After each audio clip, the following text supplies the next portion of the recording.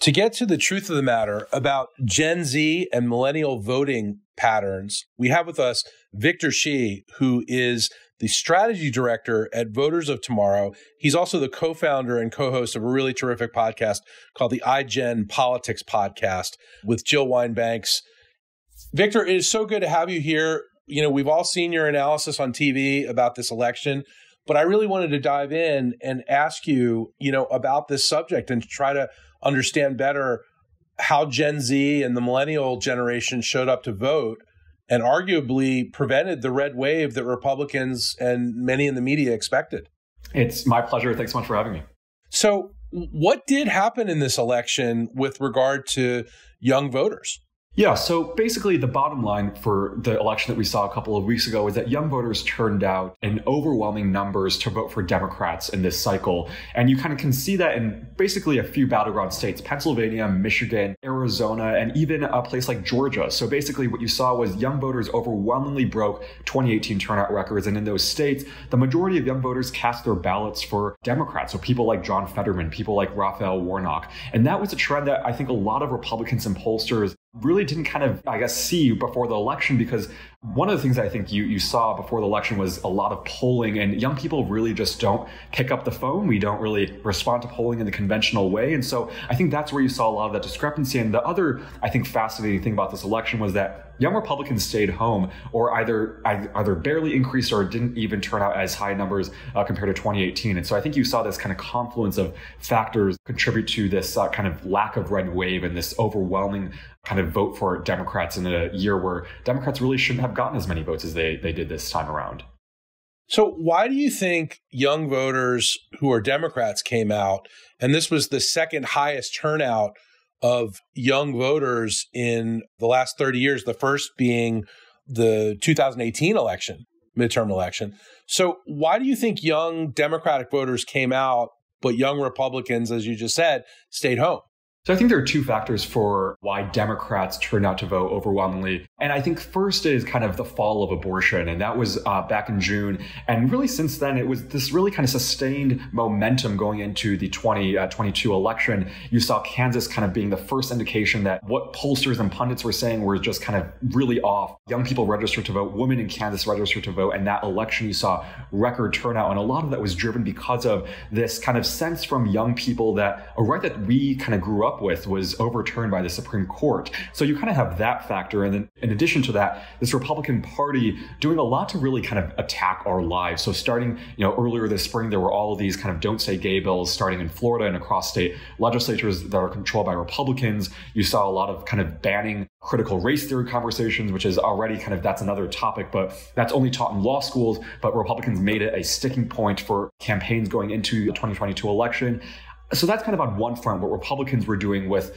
uh, young lives. And then I think on the other front, just kind of Democrats and President Biden delivering on a lot of their promises made on the campaign trail. You know, I remember running to become a delegate back in uh, 2020. And one of the things I thought was fascinating was young people really weren't that enthusiastic about Joe Biden because they thought he wasn't as progressive enough as someone like Bernie Sanders. But I think what you have been seeing with this administration is just time and time again, the Biden administration, Democrats have been delivering on a lot of the core issues that young people care about, like climate change, like student loan forgiveness. And so I think it's just kind of this clear contrast between two parties that young people really understood. And that's why you saw a lot of young people cast their votes for Democrats. And then a lot of those young Republicans, I think it has to go to what Mitch McConnell said uh, a couple months ago, which is just candidate quality. A lot of the candidates that Republicans put forth were just really insane and election deniers, extremist Republicans, people like Kari Lake and people like, I don't know, JD Vance, even though he won. But a lot of these Republicans were just so antithetical to uh, the values that young people believe in. So you're saying across the board, young people really rejected election denialism and they're really much more interested in the issues. Absolutely. So before the election, uh, the group that I'm with, Voters of Tomorrow, we uh, conducted a poll, and our poll was slightly different from most polls in the sense that we really kind of harness social media and texting and kind of having those conversations where young people are. And one of the things that we asked young people is, what are you most concerned about? And more than 70% of young people that we asked were concerned about just the extremism that's going on with the Republican Party. And you saw that in states like Arizona, where Kari Lake as well as, you know, Mark Kelly, you know, that election was definitely very contested and, you know, young people turned out to vote overwhelmingly for the Democratic candidate. And those were, that was an election where you saw kind of Republicans kind of using Arizona as ground zero for a lot of the election denialism. And then also someone like, you know, Dr. Oz or someone like Herschel Walker. So I think a lot of these states are, you saw young people just go out to the ballot box and just say, you know, we are going to vote for the party that cares about us. And we're fed up with this kind of extreme lying that's going on with the Republican Party. So, one of the stats that really is striking to me, Victor, is that you look at the turnout in this last midterm election, and it was among 18 to 29 year olds, it was about 27%. So, that's still pretty low. And in 2018, it was 31%. Pretty low what needs to happen to raise those numbers where both young Republicans and young Democrats turn out to vote more? Because I, I know that part of what you're doing is just trying to get people who are young, Gen Z, millennial, just to come out and vote no matter what their party is. Yeah, absolutely. And, and that's one of the goals of Voters of Tomorrow. That's one of the goals that I've been pushing for since I got involved in politics is just getting young people civically empowered and out there voting. And I think, you know, going back to what you were saying about the 27% number, I wish that number were higher, but a lot of that reason is because, like we were saying earlier, young Republicans just stayed home where they didn't turn out as high as rates, you know, as compared to 2018. And so that's, I think, why you're, you're seeing the overall turnout drag a little bit down compared to 2018. But I think just going forward, one of the most important things is just an investment from uh, the political parties into where young voters are. So that means starting when they're young. So basically getting them registered to vote in high school. A lot of us are living in states where once you turn 18, you're automatically registered to vote, or when you turn 17, you're automatically registered to vote. So finding those kind of ways to get young people registered to vote and kind of aware about the civics process, but also just providing as many resources as possible. You're seeing across the country, one of the unique things about America is that there's this kind of patchwork of election rules. And so while I live in Illinois, someone in Georgia might have a different set of election rules that might you know make it harder to vote. So kind of meeting young people on the ground and letting them know what are the resources what are the kind of tools that they need to go out there and cast their ballot because every everywhere is different. And so i think just getting young people aware of kind of the civics process earlier on is really important. And i think just kind of in terms of framing kind of how to get involved in politics for young voters uh, should definitely improve. So a lot of the times, I think there's a lot of emphasis placed on the national conversation, what can happen federally, but politics is all local and so if you can get young people to think about you know what's happening in their school district or what's happening in their county it's much easier to kind of see and kind of vision change that way. And so i think part of it's just really investing in young people where they are but also making sure that we talk to young voters and empowering them in our, in our conversations. Another statistic that I've seen that is really pretty interesting is that in the next election in 2024, presidential election coming up, Gen Z and millennial voters will account for almost 40% of voters. It's never been higher than that, right? So basically, what we've seen starting in 2018 is just the Gen Z and millennial vote combined is only growing in political power. And for the first time ever in 2024, that's going to outnumber any generation older than us. So when we talk about, you know, what Gen Zers want and what we, I think, kind of deserve is we should just deserve more kind of representation. And we saw in 2018 and 2020, one of the things that we did is we helped elect Democrats and we helped prevent Republicans from gaining control. And we did the same thing in 2022. And so we're only growing in political power, which means that our vote is going to matter even more than it once did a couple of weeks ago or a couple of years ago. And so a lot of that means for Gen Zers and uh, millennials, you know, we showed up at the ballot box. Now it's up to Democrats to really meet us where we are and, and the political political parties to meet us where we are and really acknowledge that they're going to listen to us and kind of address our concerns. And that's, I think, how you're going to kind of sustain this momentum from Gen Zers and millennials. So if you're a candidate in 2024, whether you're Joe Biden or another Democrat, whether you're Donald Trump or another Republican like DeSantis, for instance, who seems to be one of the front runners as well as Donald Trump for the Republican nomination, you sure better think about your voting strategy towards young people, right?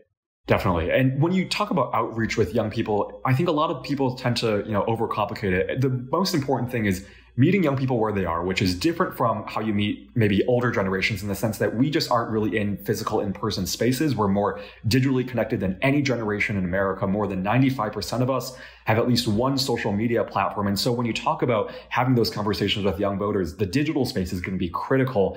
But other than that, it's just listening to young voters and really understanding our concerns. I think that's what Democrats and President Biden has learned just really well is being able to listen to our concerns and then acting on our concerns. And that's, I think, why a lot of young people turn out to vote for Democrats this election cycle. And I think if I, you know, if any Republicans are out there running for office or just kind of want to reach young voters, it's all about listening and understanding our concerns and then meeting us where we are. So let's talk about those electronic spaces that young voters are, are in. So Gen Z and millennials both you know digital natives were born into being you know on the web. You also said that you know the polls don't really reflect that population because people who are your age people who are 18 to 29 year olds they they typically don't answer the telephone but they'll answer a text. So how does polling need to change to really account for them This one question. And the second question is what do candidates need to do to reach young people if they are on social media and in digital spaces?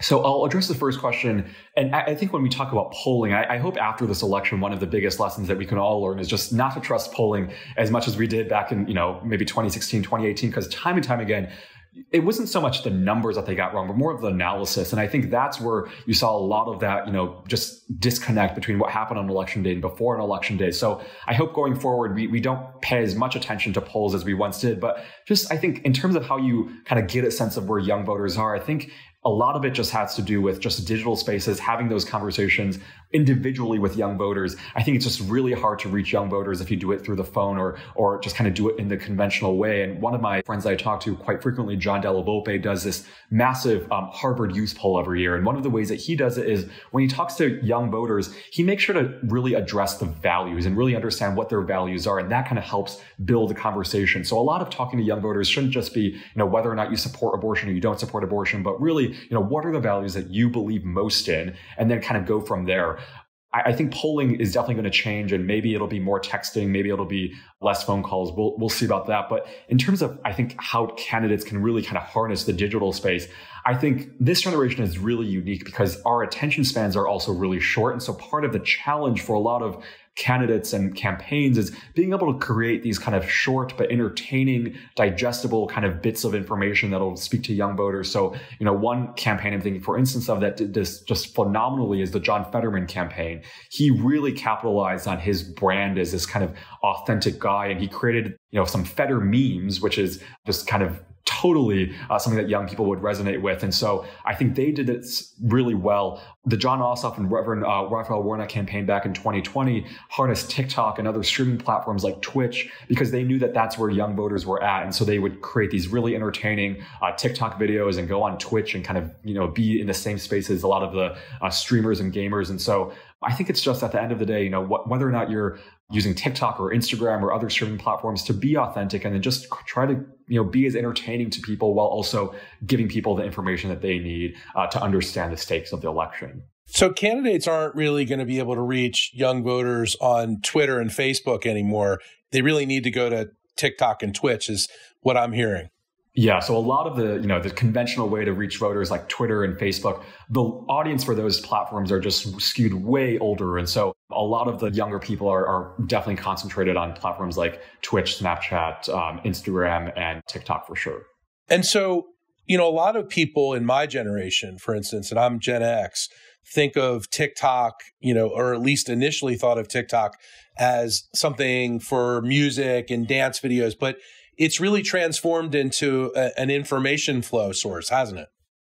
Yeah, absolutely. One of the, I mean, you know, there's a lot of criticism for TikTok and just really any social media platform in the sense that misinformation can definitely run rampant. There can be a lot of just lies that pervade it, especially if you don't have those kind of tools to know how to spot misinformation. And that's hopefully another conversation that maybe we can have later, just kind of news literacy. But in terms of, you know, what TikTok has become, it's really become a, just a great source for news. You have a lot of people trying to one, debunk misinformation and, and kind of the lies out there. But it's also just a lot of journalists are out there just kind of reporting and, and giving people a good sense of what's going on. So I'm thinking, for instance, of someone like, for example, the Supreme Court, SCOTUS Blogs has this great account that has more than, I think, 200,000 followers, and they get great pickup over just kind of reporting on the Supreme Court and what cases they're covering. And that's a way that you can reach young voters. They're usually about 60 second videos, very easy to kind of listen to or watch when you're, you know, on the move. And so I think TikTok has definitely become a place where young voters can go for information and resources and where, and where kind of political activism can uh, really shine through. And you can do the same thing on Instagram, can't you? With reels and things like that. It's basically a very similar thing. And that is also a place where young people really live. You know, going back to, you just mentioned John Della Volpe at Harvard.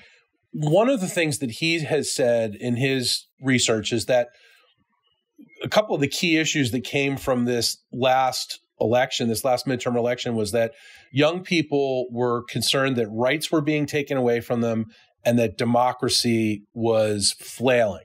Do you see that as a huge issue going forward? Definitely. So I, I, think one of the things that young people are especially going to be paying attention to, especially with Republicans taking control of the House, is how much these attacks are sustained on our lives. One of the things that poll after poll captured uh, leading up to election, definitely the Harvard Youth poll, was that young people just felt tired of kind of their lives being attacked and kind of just going back to it started with abortion, then with you know don't say gay bills. You know all of these things were kind of really kind of surgically targeted to kind of make young voters in our lives kind of harder. And you saw a lot of that, especially with voter ID laws being put into place in college campuses. And so I think going forward, Gen Zers and millennials are really going to be paying attention to what Republicans do once they ha- have control of Congress. Will they be a party that, you know, continues to make it harder for us to vote, continues to make it harder for, you know, our rights? Or will it be a party that tries to listen to us and, and enact things that will improve our lives? And so that's going to, I think, be key for young voters. And I think just the, the second point that you were mentioning in terms of, you know, John's, John's poll and, and I think just a lot of Democrats is I think you're going to be seeing a lot of young people still kind of put pressure on the Biden administration and Democrats and how they kind of bring young voters into the fold. And uh, I think there's a big push from a lot of young activists across the country to form some sort of youth advisory council, which would basically set up a panel or basically kind of be an executive branch in the presidency and kind of be that voice for young people to gather and then kind of give the president recommendation policies. And so I think that's going to be the two fronts where young voters are going to pay most, most attention to. And would, would that be a bipartisan commission or is that something that Democrats are trying to organize? Yeah, so that would be a bipartisan commission. And so it would have to pass Congress, but basically funding would come from Congress. And then President Biden and his White House would have the ability to basically form a young advisory coalition of just young voters, how they choose could be Republicans, could be Democrats, could be both, and, and, kind of bring them to the table to listen to us and then to include us uh, at the table for um, whatever policies that the administration is thinking of passing. Well, and it's interesting because one of the things that I'm hearing you say is that young voters, whether they are Republican leaning or Democrat leaning or you know registered, they both sound like they want very similar things. Absolutely. So I think just the, at the end of the day, it's just our lives improving. I think a lot of young people have similar experiences, no matter where you come from. Things like climate change that affects all of us. You know, shooter drills. You know, I, it's unfortunate that we have to be at this time where it seems like every single day there are multiple mass shootings. Over you know 600 mass shootings since uh, the beginning of this year, and it seems like it's not stopping at all. But for young people, that's a reality that we all have to live in. No matter which school you go to, there is basically a mass shooter drill. And so that's something that young people really understand. Things like student loan debt. A lot of young people go to college. We understand how expensive college tuition is. And so I think on the values, a lot of young people agree with kind of what needs to be done to improve our lives. And maybe it's the process that we disagree on. But at the end of the day, we want to see the outcome the same. It's just what both parties offer that might be different. So one of the things that you mentioned a few minutes ago was news literacy, and that's something that we study pretty closely as it relates to misinformation and disinformation, and in, in terms of political polarization. What relationship do you think news literacy has with political polarization in this country? I think it has a pretty strong correlation because I think one of the things that happens when you become aware of how to spot misinformation and disinformation is you become much more equipped to kind of go through the noise and really kind of make your voice heard in this election cycle. One of the things that I have kind of, it's really stuck with me is I read this book by Hannah Arendt, who's this just really phenomenal philosopher. And she wrote this book during World War II about totalitarianism and how the goal of so much information being thrown at you isn't to make you believe that, for example, vaccines are bad or that democracy is collapsing. It's to really get you to shut down as a unit. And once you shut down as a unit, you become very susceptible to polarization and the attempts to basically kind of create this division and fear among just your base. And so I think news literacy is super important for young people, especially this kind of upcoming generation that's really digitally connected. And so I think it starts in the classroom. I think teachers. And I'm proud that my home state, Illinois, is one of the few states that actually has now news literacy starting in middle school and going through high school. And I think it really starts in the classroom to get young people prepared about how to spot lies and how to kind of, you know, spot misleading headlines. Um, one of the things that I know my co-host Joe Wine-Banks really kind of stresses is, you know, when you read an article, there are always hyperlinks. So you click on those hyperlinks to get to the original source, and that's a skill that I think everyone should cultivate. But at the end of the day, you know, it's it's kind of being equipped as people who are just living in this democracy. It's a scary world out there, and I think as long as we have the knowledge and the information to know how to kind of go through that process, we become much more empowered, and we can kind of dismiss the attempts to kind of create that division and exhaustion. That's really interesting that Illinois is taking the lead on this. You know, something that that I've been talking about forever is that how news literacy needs to start even younger than middle school, and you can make it age appropriate as you get down even into elementary school. Do you think that's something that's going to the rest of the country is going to follow?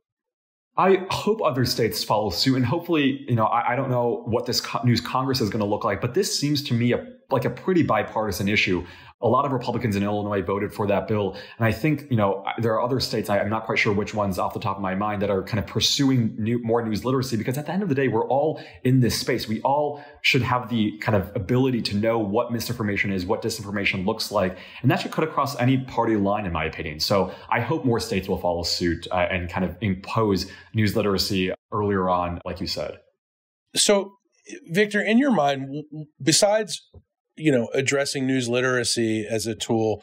What can young voters do to deal with polarization in the current political landscape?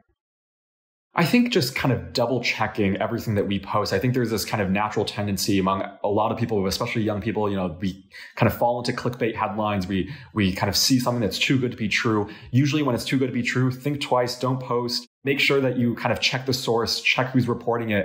And I think as long as we do that, then it becomes much easier to kind of spread the good news and the, and the positive news and, and accurate information. And so I think that's part of it. And then the other part of it is just trying to be aware of what's happening around us. Uh, you know, subscribe to information that you trust. Subscribe to things like, you know, for me personally, it's Axios and the New York Times and the Washington Post that I kind of trust those sources.